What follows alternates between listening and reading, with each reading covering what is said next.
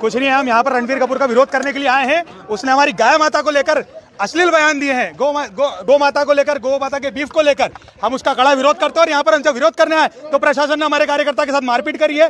हम हम प्रशासन के हम प्रशासन की इस कार्रवाई का विरोध करते हैं और इसके खिलाफ बड़ा आंदोलन करेंगे। रणवीर कपूर आलिया भट्ट इस महाकाल बाबा के मंदिर में नहीं घुसने देंगे उसको जो जो मीडिया के चैनल के ऊपर रणवीर कपूर कहता है कि बीफ खाना अच्छी चीज़ है। तो ऐसे गो बख्शक को बाबा महाकाल के मंदिर में नहीं घुसने देगा, बजरंग दल। पूरे देश में उसका विरोध करता है और आज यहाँ पर वो अगर आया है तो उसको अंदर नहीं आने देंगे। पुलिस के का, पुलिस ने हमारे कार्यकर्ता हम यहाँ पर काले झंडे दिखाने आए हैं। हमने उसके अलावा उसके अलावा हमने, हम हम हम बड़े शांतिप्रिय तरीके से अपना विरोध कर रहे हैं। हमने सिर्फ़ काले झंडे दिखाने यहाँ पर आए थे। पुलिस की इस कार्रवाई का कड़ा विरोध किया जाएगा। हमारे कार्यकर्ता के साथ पुलिस ने मारपीट करी है और उसको अंदर लेकर गए प्राथमिकता से प्र, प्रथम हमारा जो आग्रह है पहले तो ये है कि हम रणवीर कपूर जा रहा है उसका विरोध करेंगे।